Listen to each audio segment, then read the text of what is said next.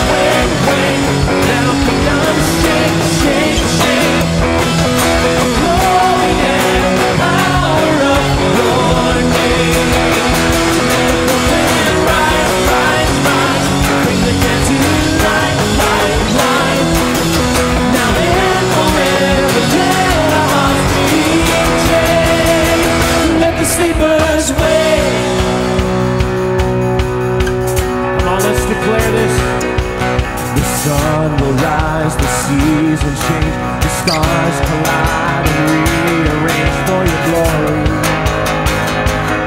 for your glory. You the fire inside of me for your glory, for your glory. Come on, sing it out. The sun will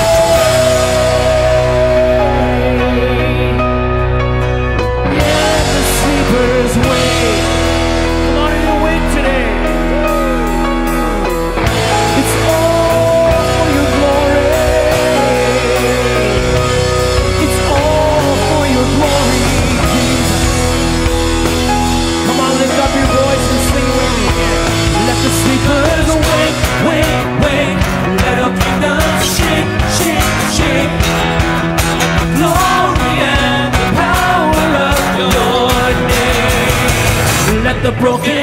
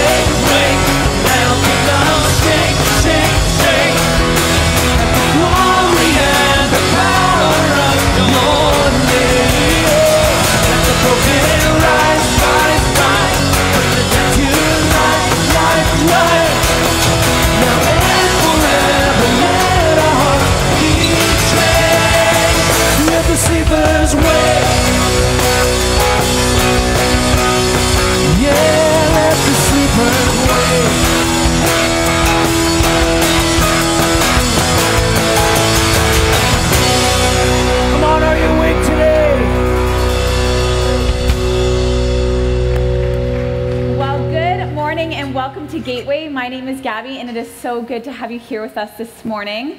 Now, I'm very curious do we have any people that are excited and ready for fall? Who's ready for pumpkin spice lattes, fall? Okay, who's not wishing summer away yet?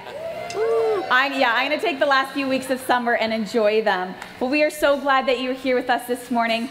Our mission here at Gateway is to help you take a step in the right direction, and we hope we can help you do that this morning. If you are newer here, we are so glad that you're here with us this morning. We would love the chance to get to know you a little bit better. So you can meet us out in our atrium there at our guest services, and we have a small gift we'd like to give you there. As well, this morning we have an excellent children's program. Kids, it's fun, it's healthy. You will have a blast. I'm sure you'll have more fun than in the church service here this morning. So, parents, you can bring your kids out into the atrium there and they will direct you where to go. We also have a program for our students, grades six to eight. You guys can just wait. There will be a slide that pops up there to tell you when to go. Right now, we're continuing our series called Stronger. It's based on the book um, strengthen yourself in the Lord, and we hope that you enjoy this, um, this uh, message this morning. And to go along with our series, we have a weekly devotional we've been posting Monday mornings. You can find that on our website and our app. Right now, we're going to give you a few minutes, mingle around, say hi to those around you, maybe find out what people have been doing this summer, and we will be back shortly.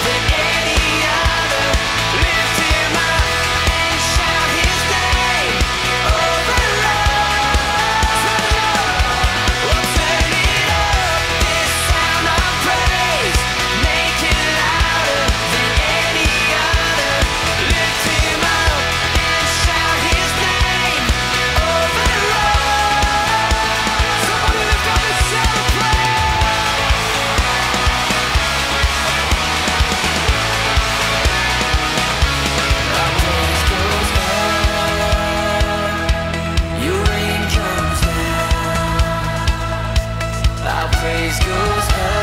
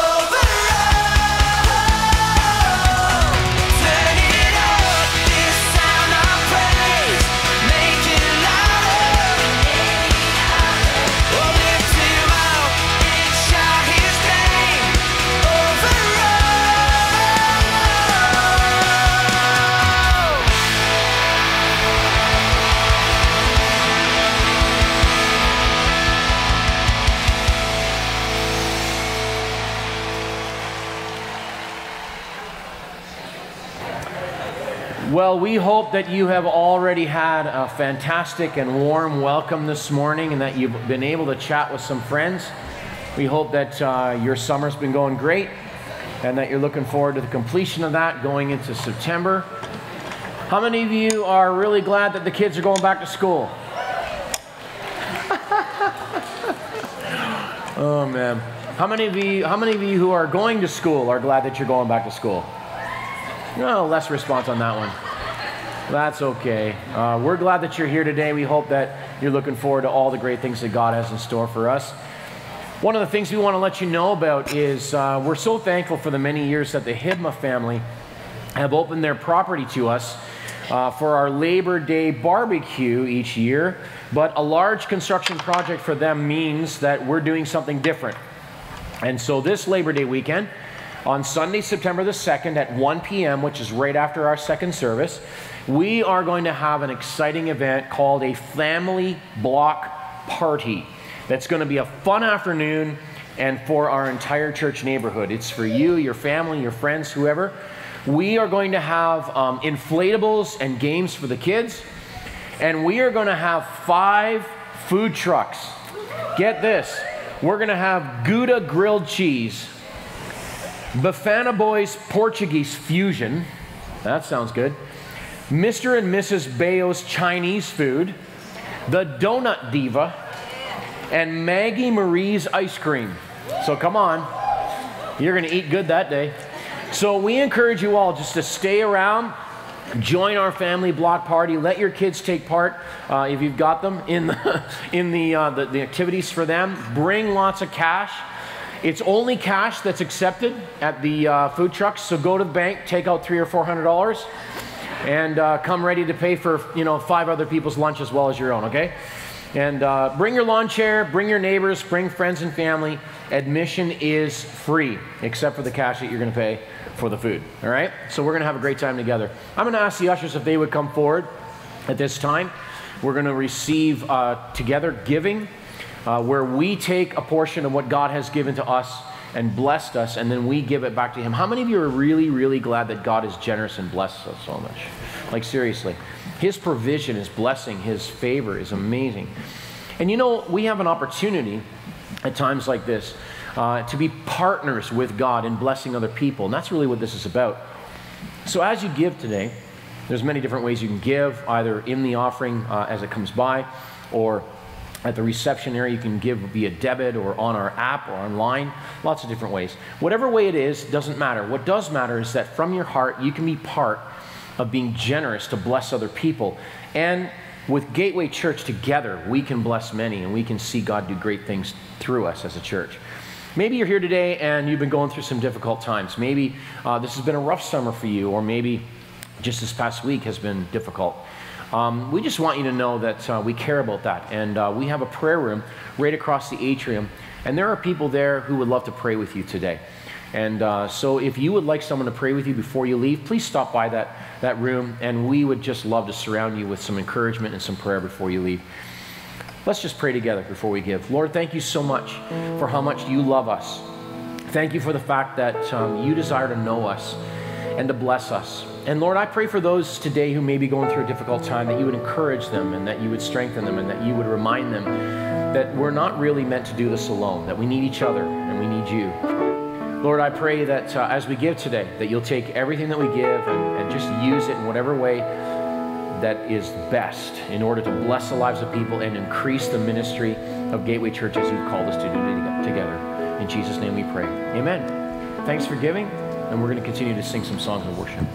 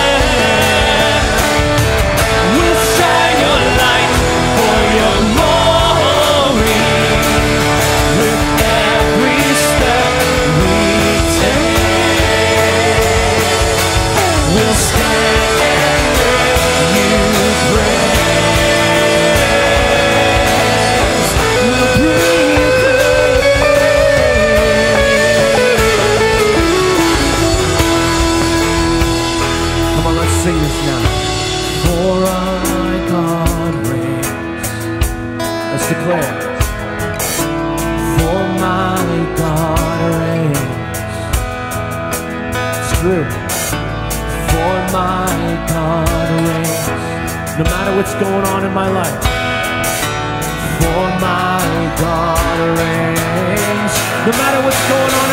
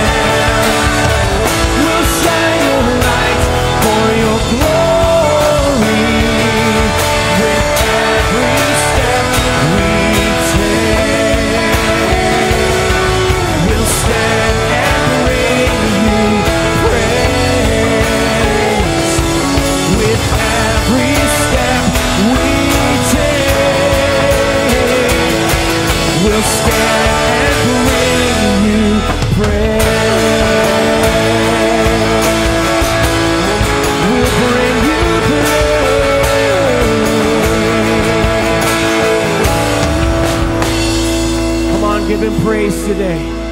Yes.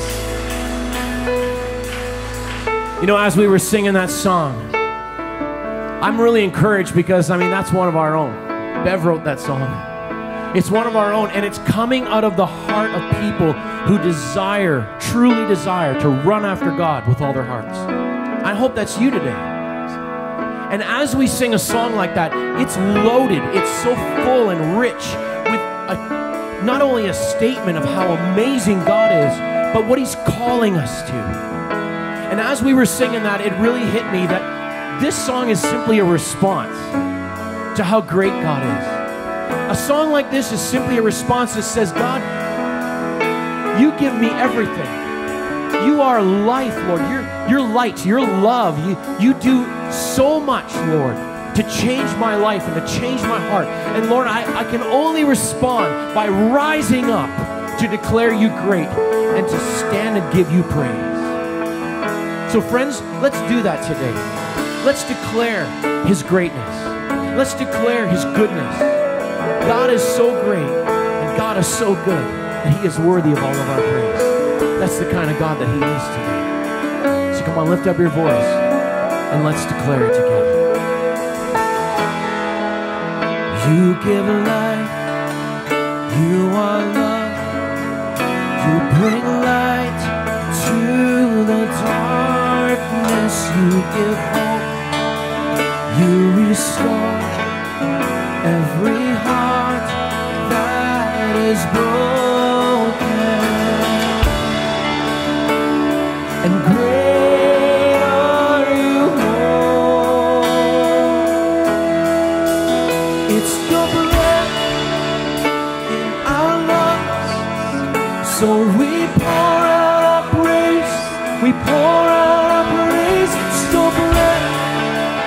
In our lungs.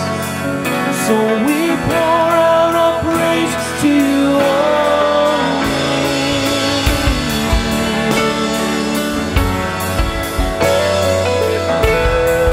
Come on, let's declare it today. You give light.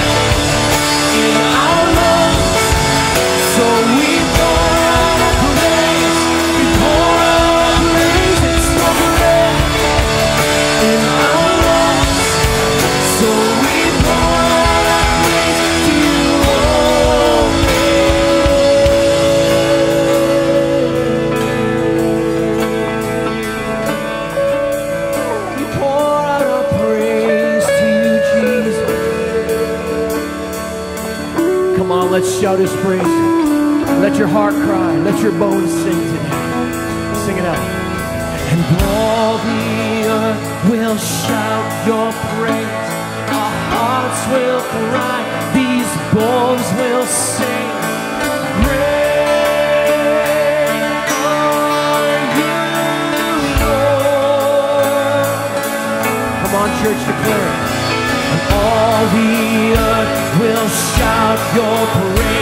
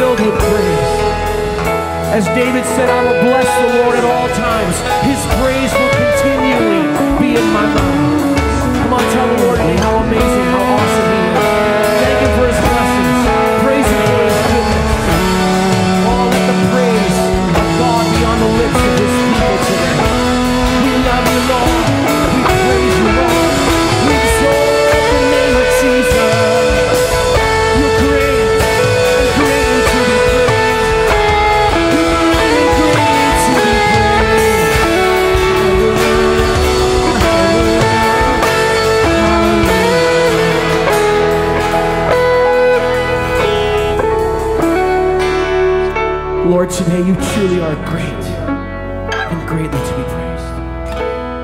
And Lord, because you're great, we can seek after you. But Lord, you are so good.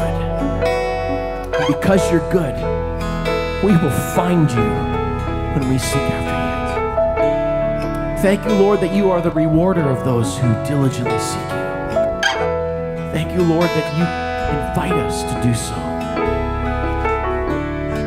Lord, today for every person who's here, I pray that you would be so real and near to every heart. Lord, we thank you for your greatness and for your goodness, and we thank you, Lord, that you call us to rise up, to stand, to declare your greatness, to focus on you, and Lord, to have hearts that listen to you. We bless you today. We thank you in Jesus' name. Thank you so much for singing with us today. You may be seated.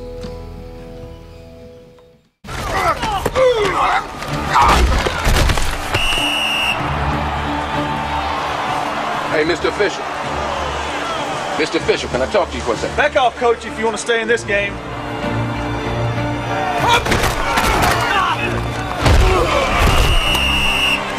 I've got holding on 78 white. What are you? Are you trying to cheat my boys out the game? 15 more yards. Listen, let them play, ref. Let them play. Reasonable. Let them play. Let the boys play. Cheetah. Coach, come on. Cheetah. Coach.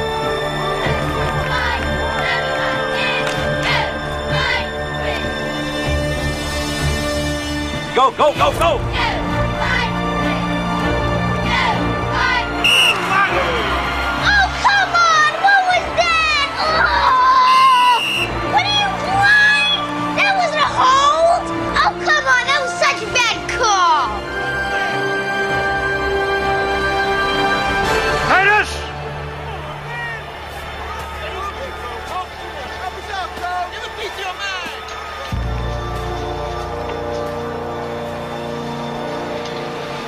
I know all about it, Titus. What are you talking about, Bill? You call this game fair, or I'll go to the papers. I don't care if I go down with you. But before God, I swear I'll see every last one of you thrown in jail. You dig your own grave. Defense! On me! Okay, Petey, don't you drift to the strong side. Coach, they're calling a holding penalty on me every time. Did I ask for your excuses? You want to act like a star? You better give me a star effort. Do you hear me? Forget about him! Alan! You're in!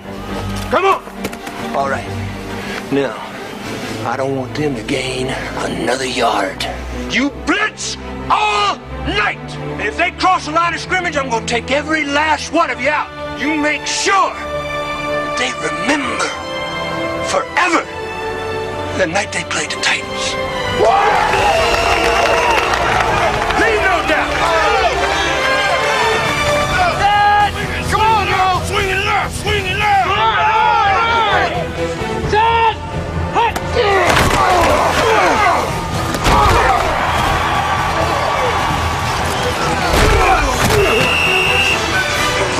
You better make yourself comfortable down there. Real comfortable.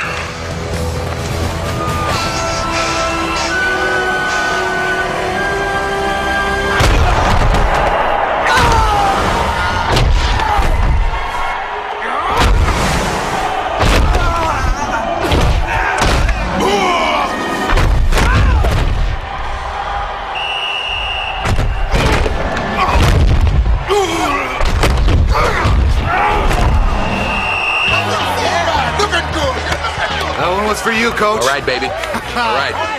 You brought us here, coach. Run it up, Herman! Leave no doubt!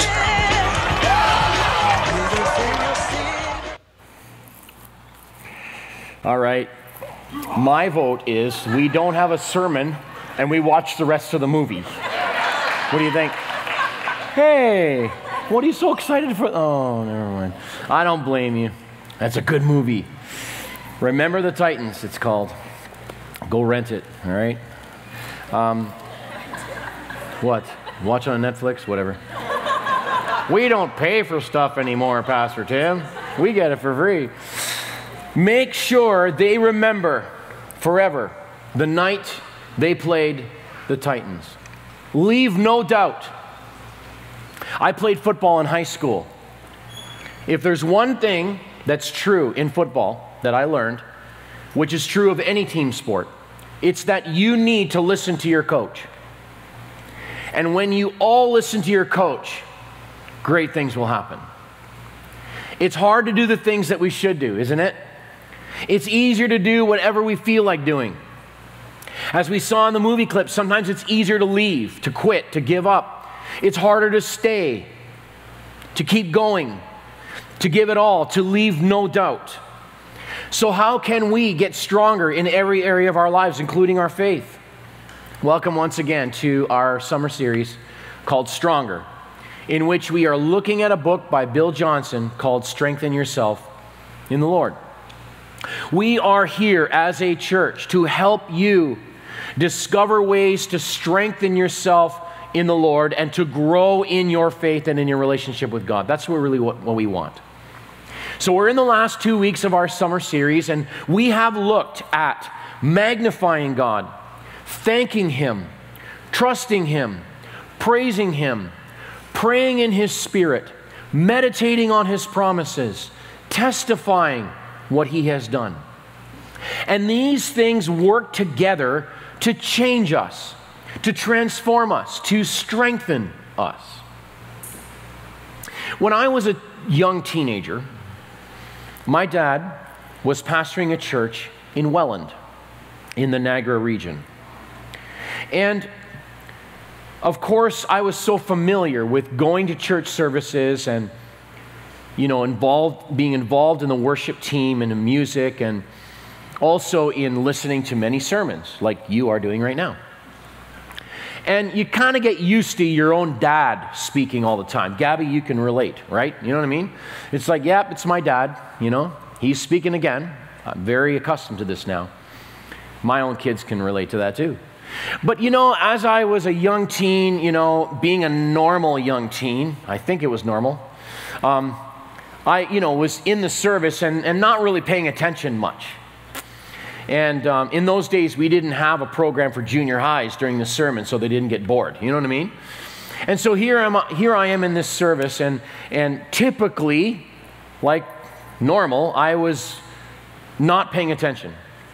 I was talking with a friend of mine, and we're just, you know, back and forth and, you know, laughing and joking about stuff. And I'm talking to him, and he's talking to me, and I'm listening to him, he's listening to me, we're not paying attention at all. And right in the middle of the sermon, my dad stopped preaching, and he turned and looked at me and said, Timothy, are you listening? Think about that for a minute. I wanted to crawl under the floor, never mind the, the chair, okay? And I said, Yes, I am. it's bad enough that I wasn't listening when my dad was preaching. I lied to him in front of the whole church. Think about that, you know? And the reality is that I, that was only really a half truth. It wasn't a complete lie. I was wondering what it would be like if we tried that on a, on a, on a Sunday service, you know? That'd be fun, eh? Heather, are you listening? She's honest. No, she's not. She's paying more attention to the guy beside her, I think, maybe. I just had to throw that in there. All right. But the reality is that I, what I said was a half truth, okay? Because I, was, I wasn't listening to my dad, but I was listening. I was listening to my friend. I was listening to the wrong voice instead of the right voice. I was listening to someone I shouldn't have been instead of someone I should have been. Have you ever thought that you were listening and paying attention, but you really weren't? If you're not sure, take a look at this device that you probably have in your pocket. Think about it. You ever been in a conversation with somebody, but either you or they are on this? And it's like, uh huh, yeah, Okay, yeah, yeah. Especially if it's your wife and you're in the middle of a conversation and you go, mm, yeah, yeah, yeah. And she realizes you're not paying attention, so she then says, I'm going to go out and spend $5,000 in our bank, from our bank account. And I go, what? Pardon? What was that? Now, thankfully, she's never said that that I know of. But the reality is that things can distract us from listening, can't they? Even little things that we should master and we should have control over, but they can get in the way. You know, sometimes we think we're listening and paying attention, but we're really not. Or have you ever listened to something or someone other than what you really needed to? Like maybe yourself, or someone else, or a negative influence, or even the enemy of your soul. What's, what's sad that we often see as pastors is that there's so many people that they truly do have an intention of being a follower of Jesus and of being a Christian and, and, and committed to God, but they listen to and believe lies that are told to them by other people or even from the enemy, from the devil himself. That's sad. In the book Strengthen Yourself in the Lord, Bill Johnson makes a statement that sets the pace for what we're looking at today. He says, When we value what God values, his blessings will hunt us down. When we value what God values, his blessings will hunt us down. So the question is how do we value what God values? And as I asked that question and as I, I, I thought about it and prayed about it, I wondered if it starts with listening.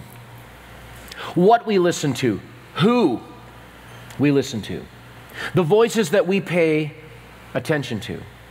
Now, remember the theme of our series becoming stronger.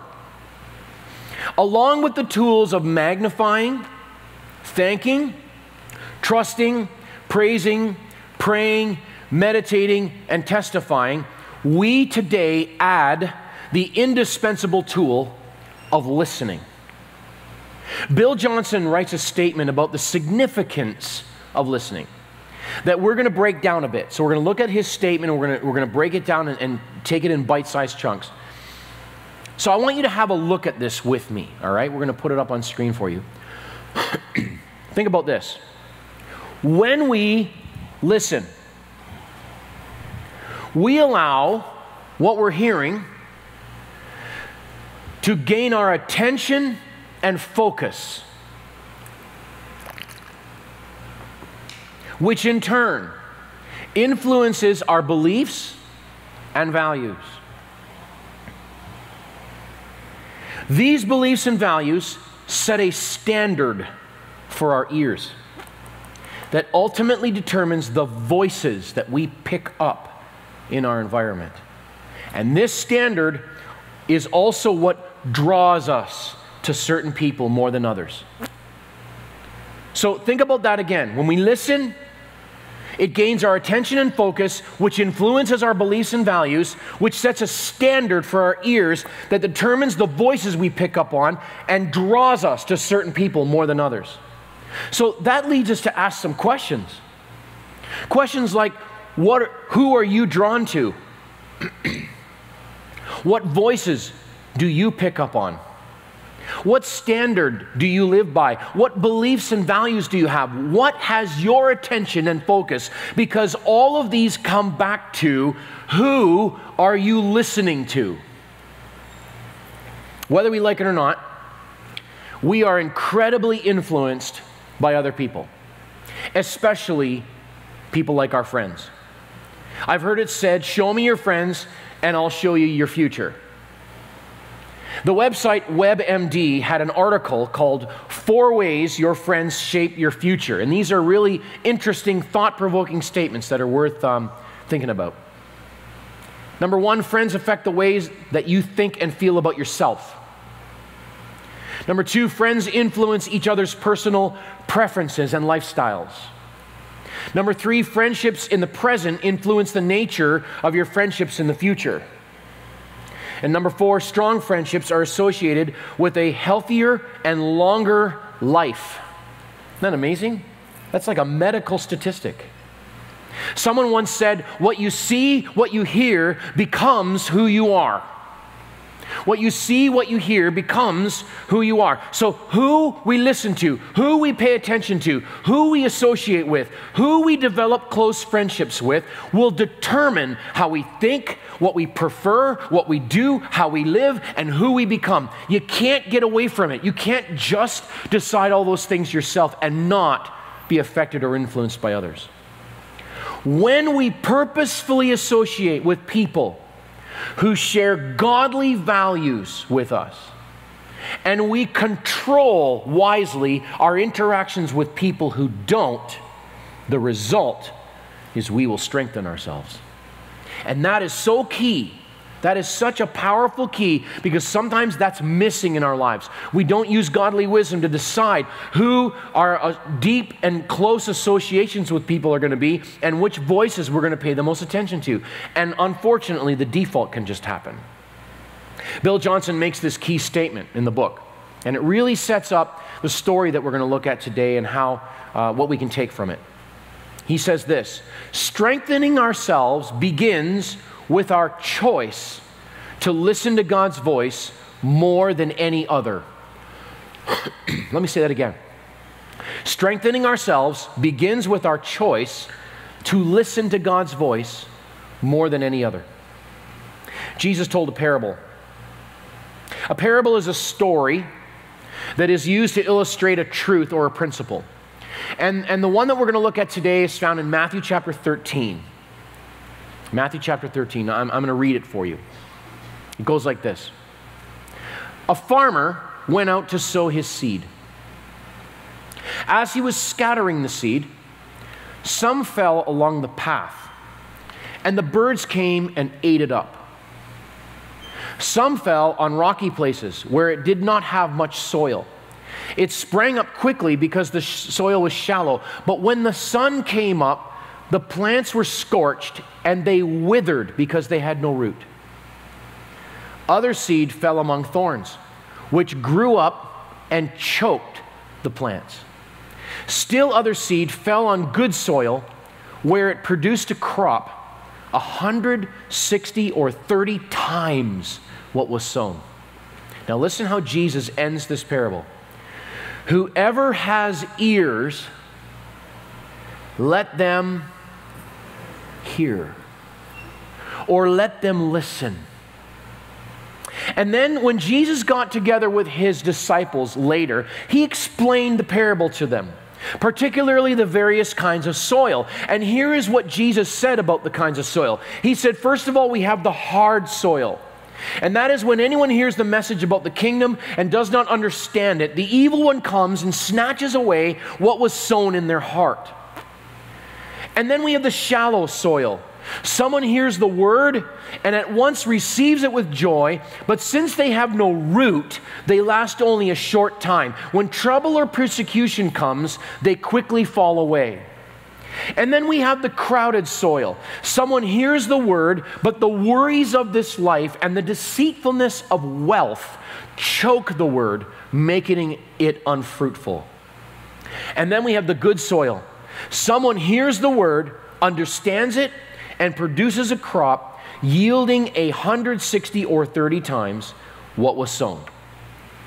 And when I read that parable, something really hit me.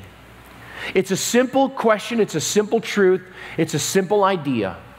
But sometimes we read these stories that Jesus tells, we read these parables, and we forget that he's talking about us.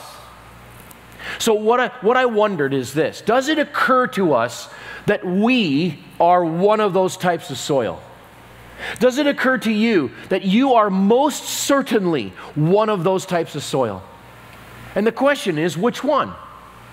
Does it occur to us that others around you are also one of those types of soil? And which type are they? So the question is who are you listening to? Who are we listening to? What type of soil are they? What type of soil are we? What type of soil do we want to become? And what type of soil do we need around us in order to become that? How are these types of soil affecting us, our spiritual lives, and our strength in the Lord? Well, that it, those are big questions. Those are important questions. And ultimately, what they come down to is this question How can we be good soil? How can we be productive and fruitful as we strengthen ourselves in the Lord? Now, that's a good question. And I believe that there are three things that we can look at today. They're very simple, they're very straightforward, but they are powerful enough to change your life if you actually believe them and then put them into practice. Number one, listen to the right people. Pretty simple, eh? In Mark chapter 4, Jesus said, Pay close attention to what you hear. The closer you listen, the more understanding you will be given, and you will receive even more. So if you think about it, Jesus ended the parable saying, Let the one who has ears, let them hear. And he also said that those who are good soil, they understand the word. And then they produce a crop, they produce fruit because they have understood it. In other words, when we listen and we understand, that is how we will receive even more. Understanding comes when we listen, and receiving even more from God comes when we understand. So, how important is listening? Whoo, it's way up there. You see, when we are porous soil, when we are receptive soil, ready to receive whatever God has for us, when we listen closely and pay attention to the right people, we are then given more understanding, we receive more, and we become more of the soil that God wants us to be. Good soil. Bill Johnson, in this chapter, talks about something called covenant, particularly covenant friendships and covenant relationships. That is, friendships and relationships that are built on an agreement and commitment between us that affects our thoughts, our decisions, our growth, our strength, and our life. We desperately need these kind of relationships. And when we enter into covenant relationships with people, covenant friendships, and that includes a marriage, it includes a close friendship, it includes possibly a family relationship, this agreement and this commitment between people that affects every part of our being is such a powerful thing to help us be strengthened in the Lord and become good soil that we can't overestimate it. Here's how uh, Bill Johnson puts it in the chapter. Let me read this for you. Covenant establishes an agreement that allows the spiritual reality that governs your life to flow to the other person and vice versa. When we steward covenant friendships with people of faith, we stay connected to a growing source of strength that often greatly determines our ability to persevere through difficult times. That's powerful. In other words, if you and I are going to go through difficult times, and we will, or we have, and we are going to persevere through those, we desperately need to stay connected to a growing source of strength that comes from strong covenant relationships with people of faith. You are never meant to do that alone. You and I are never meant to go that alone. We are never meant to try and face that stuff by ourselves. We are meant to do it together. That's why we have a prayer room where people can pray with you. That's why we have home groups and we have areas of ministry you can get involved in. And that's why this fall you need to jump in and see where you can get involved and how you can serve and how you can be part of this thing called the body of Christ. Why? Because you desperately need it. That's why, in order to become the type of soil God wants you to be. We got to listen. He mentions something here that's really true of all of us. I'm sure you can relate to this. One of the best ways to strengthen myself when I'm tired or discouraged is to grab hold of a friend and spend some time with them. It's got to be the right friend, though. It's got to be the right friend. So, how do we listen to the right people? By forming godly covenant friendships and by spending time with trusted friends in the faith together. Number two, so, number one is listen to the right people. Number two, don't listen to the wrong people.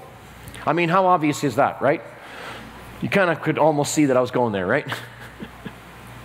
you know, these are, what, what are the wrong people? Well, these are those who are the other types of soil. These are those who are the hard or the shallow or the crowded types of soil. These are those who are, are ignorant of God's truth or unteachable or resistant to change. Those who give up when things get difficult or who talk about what they will do but then don't actually follow through and do it. Those who are focused on the cares of this life or who are self absorbed or who are too busy to give or serve or follow Jesus wholeheartedly. In Proverbs chapter 22, King Solomon talks of one example of this. He said, Don't befriend angry people or associate with hot tempered people, or you will learn to be like them and endanger your soul. Whoa, that's quite a warning.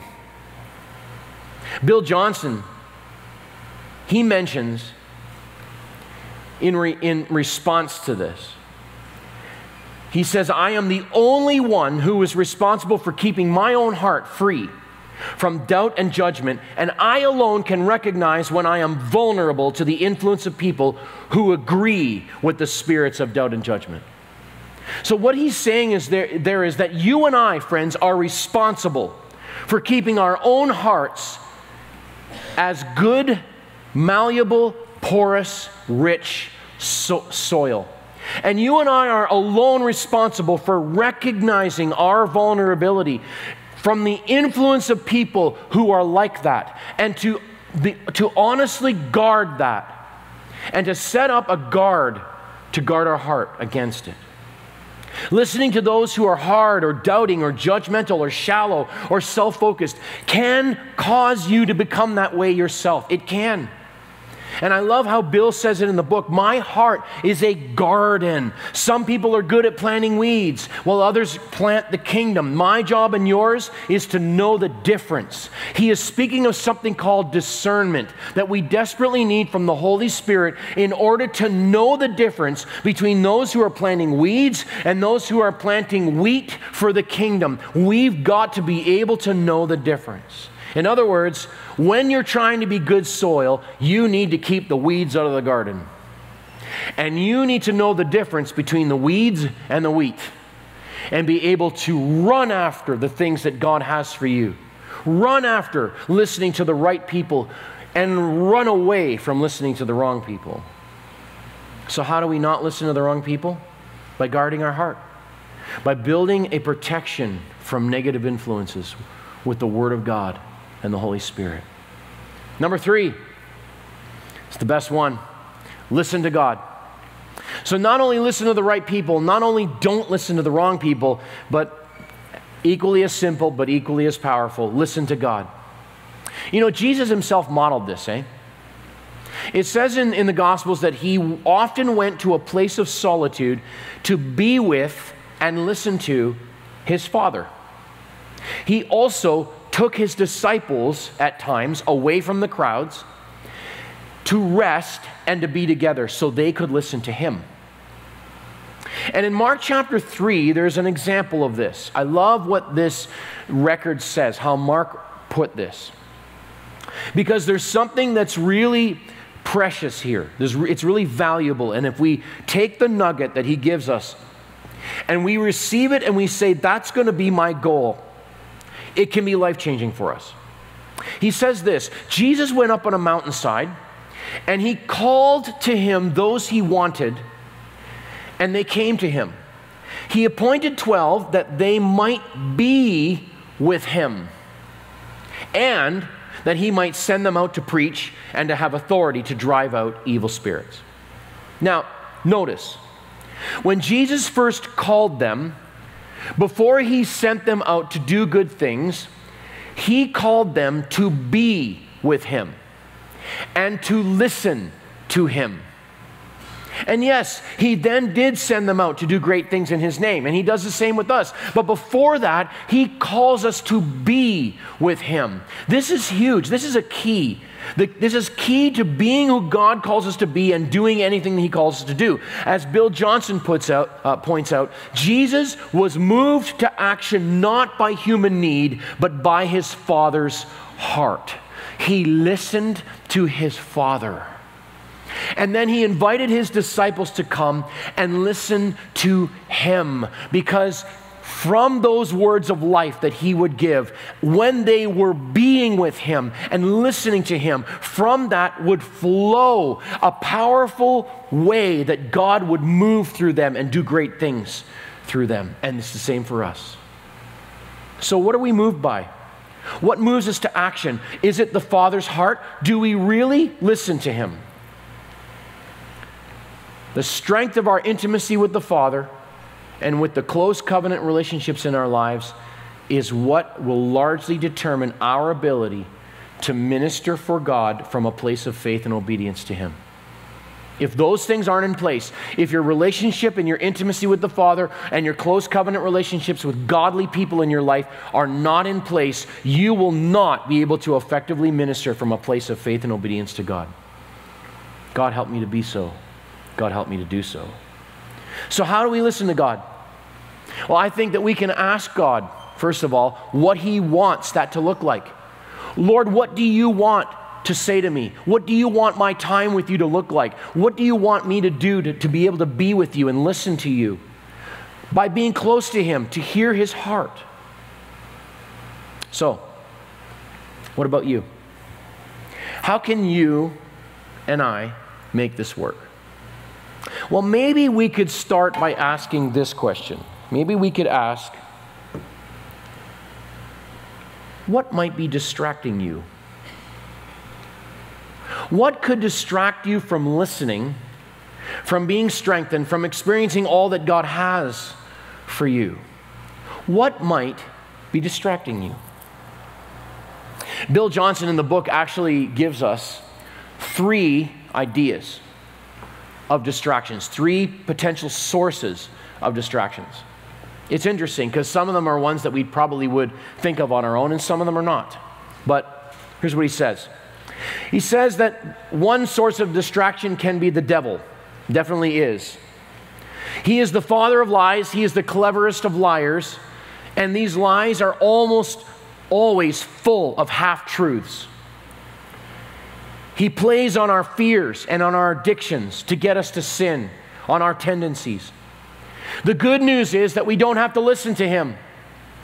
That gradually, if our minds are transformed and our senses are trained to hunger and thirst for God, those temptations don't have to hold interest in our hearts anymore. We can say no to those distractions. Another distraction is ourselves. You know, our own past, our habits, our failures, our traditions, our own understanding. Things like, this is the way I've always thought, this is the way I've always done it, this is just who I am. This is places where your old limited ways of thinking can keep you from perceiving and responding to what God is trying to teach you. You and I, with our busy, full, crazy, overworked, overspent lives, can be distracted from listening to God very easily. God, help us to not get in the way of listening to you. God, help us not to be distracted. And the third one that he, he, he writes down, which is really hard to grapple with at first, he says, What about God? Now, think about that for a minute. Now, he's not talking about the person of God himself. God himself will never distract you from listening to him. Never. But what he does is he blesses us. His favor, His benefits, His prosperity and miracles, amazing gifts and, and provision that He pours out in our lives can themselves become the focus and therefore can become a distraction from what we really need, and that's Him. That's our God Himself. Is anyone with me on that? How many of you know you don't need everything that God blesses you with as much as you need Him? How Bill Johnson puts it is these things have a way of revealing whether we will choose the benefits of friendship above the friend himself. Lord, help me to never do that. Lord, help me to not just look at those things and be distracted by them. Help me, Lord, to look at you and to listen to just you. Here's an amazing truth. When you commit to this, when you commit to use the strength that you have to do this, you will be investing into the time when you yourself will need more strength. There is this beautiful revolving door. When you bless, God blesses. When you pour out, God pours in. When you use what He's given you in, to invest in others, He will invest in you. Anybody want that today? Are you with me? Come on. Let's stand. All right, I have a question for you. Have you noticed that it's hard for us to fly like eagles when we are surrounded by turkeys? Turn to someone near you and ask, Are you an eagle or a turkey? Come on. Ask them.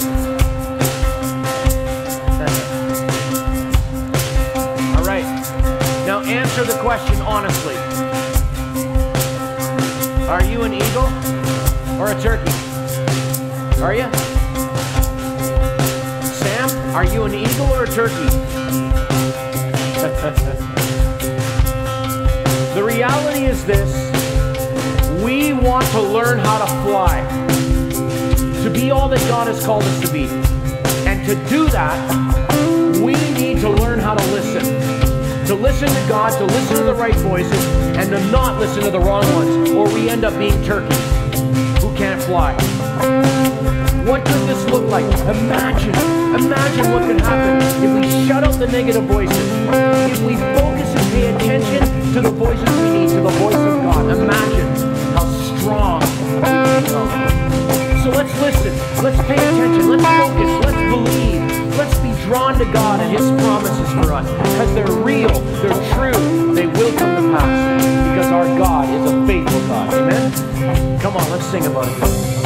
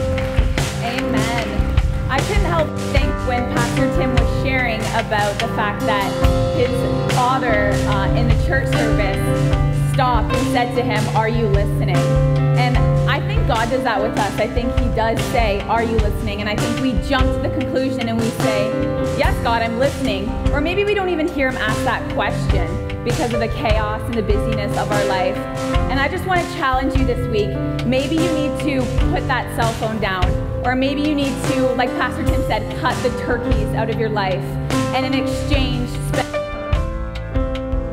And so we just want to encourage you that with that this morning. And we hope that this service has been meaningful and beneficial for you.